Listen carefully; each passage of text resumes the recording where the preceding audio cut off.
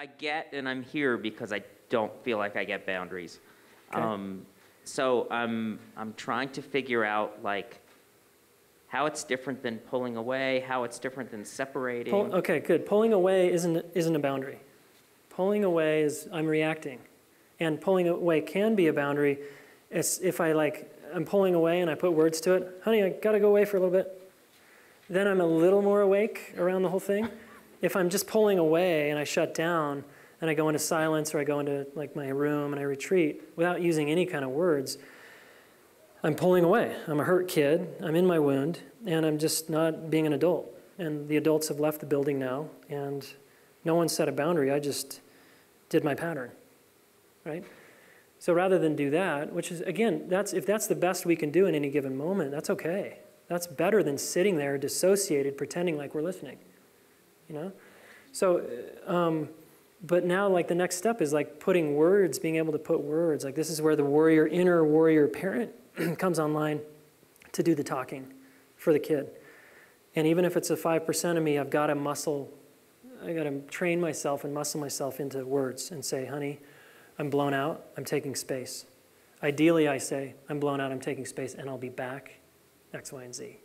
Tonight at 10, tomorrow morning, we'll reconnect and check in. But wow, I'm so flooded and overwhelmed and done. So I'm getting more wakeful, right, with my boundary because I'm putting words to it. I'm in relationships still, and then I'm taking a break. Does that help at all? Are you at that point?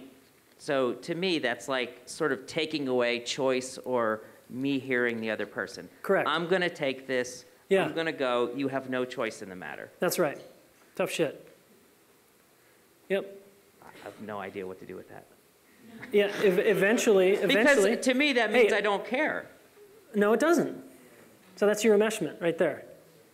It means you don't Owned. care, right? And then you project that onto her or him or whomever, and there she's like, you know, um, yeah, you don't care, and then you, you're back in a loop again. It's like, let her feel whatever she's going to feel, having you set your boundary. That's her journey. And it's her process now. And ideally, you're doing your boundary with care, which is, honey, I care about you. I'm so blown out. I got to take space, and I'll be back. And I want to hear more from you, but I have zero bandwidth for that right now. I leave. And then I come back at the time I said.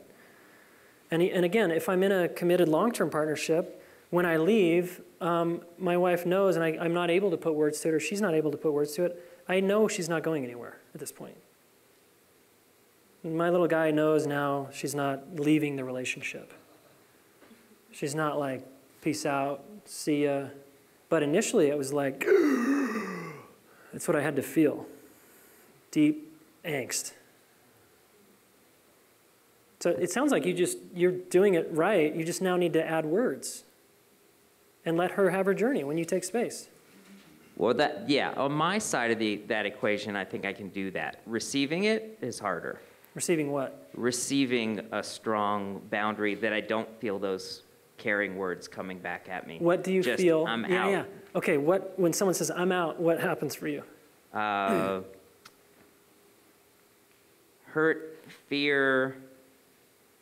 They don't care. I want to shrink. Go hide. And you feel what? Hurt- you Hurt, Um, you said? Sad. And do you feel some fear around losing a relationship? Uh, or I feel like I've already lost it. Yeah. Okay, so you're probably go start to go into a little kid zone and feel really a lot of upset, yeah? Right. But you want that. You want to feel that so that you can get stronger there. That's the whole point. You want someone to be able to set boundaries so you get cast onto yourself to face what you've been avoiding. This is why people don't set boundaries. So, It's my So- opportunity then to create myself. Not create be with yourself, to be with yourself. Yep, and get stronger and hold that one in you who is feeling terror, angst, upset, hurt, and just be with. and alone. and alone mm. totally alone abandoned helpless all that shit right that comes up for us when someone does a hard stop for us It- and again it doesn't matter if it's mean polite in this path it doesn't matter it's our every version of it is still our opportunity to be with ourselves So yeah, it's preferable if people aren't mean.